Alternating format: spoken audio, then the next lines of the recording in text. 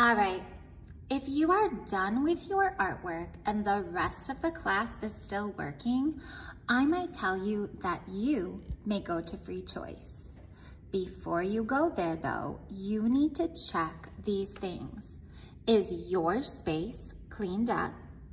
Is your artwork on the drying rack or in the appropriate location? Are your art tools clean? Did you wipe off your spot? Not with a sponge but with a paper towel or a wipe if it is dirty? And is there anything under your table? If you have completed all of those things, then you may choose something from the Free Choice Center. Please make sure before you choose that you are checking to see how many people are there. Each one of my stations, aside from free draw, is four, no more. So this is my free choice center. I have two spots. I have this space in the back of my room that has free choice options. Some of those include my pegboards, okay, four no more. I have my tanagrams. Some people like to build things. Some people even like to trace them onto a separate piece of paper and make a pattern. I have books from my art library you are welcome to read. Please, if you choose to do that, make sure your hands are clean and you're reading them in a safe space away from paint. I have my crayon peeling and for this activity, you can see I have a bucket of crayons that all have their wrapper and then I have a little bag here of crayons that are what I like to call naked crayons. So they have no more wrapper on them. And these are actually the crayons that I use to make um, the crayon molds that my mystery people choose from. So if you like peeling the wrapper off of crayons, that might be for you. Speaking of crayons, if you like to color with crayons, I have some little baskets here that have some colors in there. You can borrow those. Just bring one basket back to your spot. If someone else already has a basket who sits by you, I'm sure you can use theirs too. If you like sweeping, you're always welcome at Free Choice to sweep the floor. And then down here, I have um, these tracing sheets. And basically to use these, all you're going to do is get a piece of paper. I have a little bit of tracing paper left. Otherwise, you might have to just use a piece of paper from free, um, the free draw paper basket, which I'll show you in a sec. But basically, you just put this over the top. You get a pencil and you trace. You can create characters from here. There's horses, um, there's soccer players. You can see there's a band. There's different people in outfits if that's something you want to do, that's something that I would do at my table spot. Okay. And put that back. Speaking of putting it back, if you decide you want to start with maybe crayon peeling and then you move to the tracing sheets, you'll need to clean up that activity first. Over here, I have just a few more free choice options. I have my artist trading cards just little pieces of paper. Um, students like to make little cards for their friends, sometimes for their teachers. You can trace them. Sometimes people like to use the cards in combination with my stencils. It's up to you. These cards cannot leave the classroom. So last year I had a lot of students trying to take stacks of the cards home.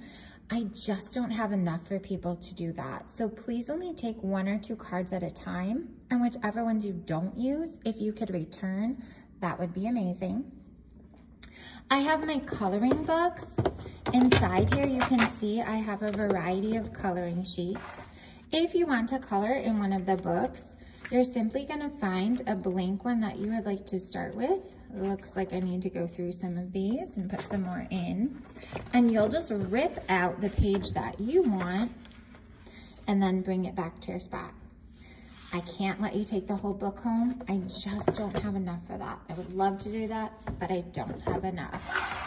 So, and if you are going to color, you might want to use the colored pencils, which are right there. So if you want to color, there's color pencils. The, in that yellow basket are pencil sharpeners. Sorry, it's a little blurry. And then you can see I also have some rulers over there too. Back over here, I have my free draw paper. Oops, zoom in out. My free draw paper is in this basket. Sometimes it's white, all on both sides. Sometimes it might have something on one side but be white on the other.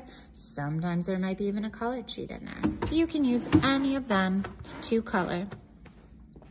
I have stencils you're welcome to borrow. So if you look in here, you can see there's a variety of stencils that you can choose to make your own art with. I have my how to draw books. Remember when you're using the how to draw books, we don't draw in these books. We just follow the steps to learn how to draw these different things. So you can see here, we're using simple lines and shapes to create our car. Not in this book. I would get a piece of paper from Free Draw, and then you're going to learn how to draw this car.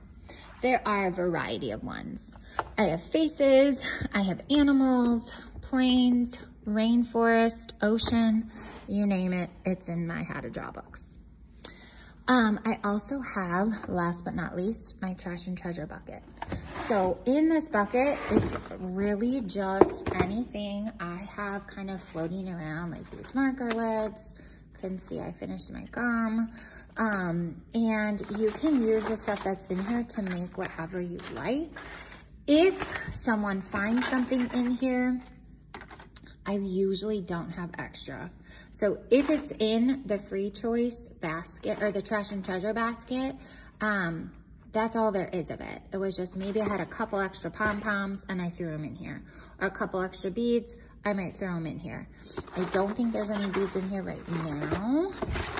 Um, but if you're doing this and you're using the trash and treasure box, you'll probably need a glue stick or a glue bottle. They're right here. Please make sure the lids get put back. And um, if you're using glue, the lids get twisted closed. And you'll probably also need scissors for that, which is right on that back table next to the pencils. Um, if you're using glue sticks and glue, please make sure those get put back in the right spot and not in the trash and treasure box. We especially don't want scissors in there because I've had kids get cut before. All right, you can see this year I have these baskets up here too. These are not free choice options. Up here, this is not a free choice option.